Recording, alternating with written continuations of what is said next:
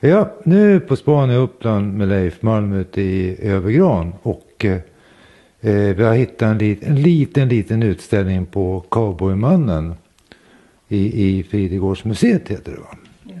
Och sen har jag hittat en trevlig dam här och eh, hon har väl lite att berätta. Vad heter du? Lisbeth Bolin.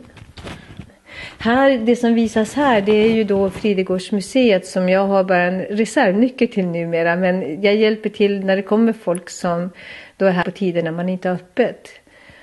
Och visa. Och här har man då gjort en hörna med honom. Och sen så har man ju i år också då invigt den här skylten vid vägen som ni säkert kan titta på också. Där det står beskrivet hans levnadshistoria. Här är det ju väldigt lite. Här är det hans kläder och bild på honom och katten. Lennart Lundqvist. Ja. Så han hette, ja. Född 26 februari 1932 och avled 8 mars 1999. Eh, vem är du annars? Vad gör du annars? Ja, jag flyttade hit 2005 för jag sökte hästgård och fann då den här Gransby som den heter. Med stall och två bostäder. Och det var jättefint här. Annars när man åkte runt och tittade var det alltid något som var nedgånget. Men här var det väldigt fint då. Och jag kommer ju själv från Norrland och från by och sånt där och tyckte att det kändes så bra. Och jag kom hit med mina galopphästar och som jag har fött upp några stycken och sen så har jag dem på Täby på träning så de står inte hemma. Den här har jag mest roat mig faktiskt med att gå med i alla föreningar därför att det är otroligt roligt och plötsligt ha tid att göra saker. Så att nu är jag engagerad i politiken här, i kommunalpolitiken framför allt och sen i Företagarföreningen, i Röda Korset och nu jobbar jag även med integrationsfrågor då så att vi kommer att satsa på att göra en bra modell för integration. Nu måste jag fråga, har du någon fritid? Anna? Alltid fritid. Du har fritid? Du hinner med ha det också? Ja, men alltså det här är min fritid. Ja, men det låter som att det har jättemycket att göra. Ja, men jag gör precis bara vad jag vill och lagom mycket.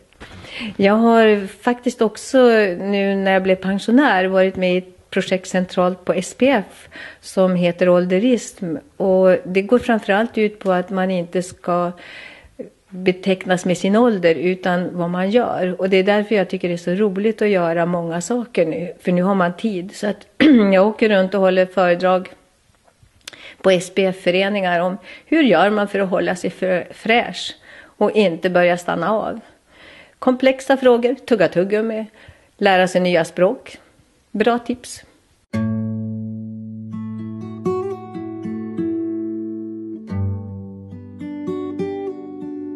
Ja, nu sitter jag inne på ett jättemysigt café som heter Tallbo Café i Övergran.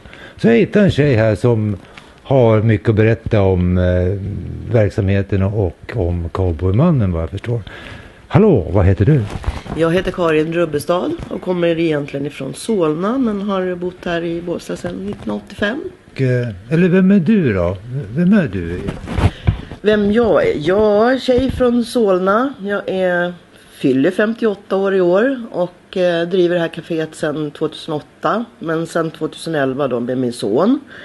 Eh, ja, jag är turistinformatör för Håbo kommun. Eh, jag har öppet här lördag och söndag 11 till 17. Du sa du, tidigare när vi pratade att du är UC. Ja, UC är upplysningscentralen för att jag har ju stora öron och man vet ju aldrig vilka som kommer in här på kaféet och alla har någonting att berätta i ryggsäcken. Många har ju gått i det här eftersom det var skola från början. Och då öppnar mina öron och sen är det ju då folk som kanske frågar om saker och ting och det är ju bra om man har tagit reda på vad det finns eller ja, om du vill ha någon tips eller råd. Du kommer direkt in på det här med cowboymannen. Mm. Eh, eh, rykten om honom. Ja, när man var liten då så åkte man ju förbi eftersom det var E18 då och vinkade till den här kufiska figuren. För det, alla vet var han stod någonstans. För sa man Övergran eller Bålsta, för det visste ingen var det låg någonstans. Men sa man, ja men där cowboymannen står och vinkar, då visste alla var Bålsta fanns. Och då eh, vinkade man ju alltid till honom när man åkte förbi här. Eh, sen hörde jag rykten efteråt att han fick flytta från där han stod mittemot kyrkan ner i backen.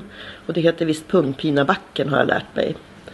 Eh, och eh, fick han flytta ner där för att folk tutade och vinkade och då störde man ju gudstjänsten och då blev tydligen kyrkan lite sura. Men det är rykte. Ja, då måste jag ju faktiskt berätta att vi faktiskt har vunnit eh, Guldkompassen här i Håbo kommun och det är absolut första priset som delades ut.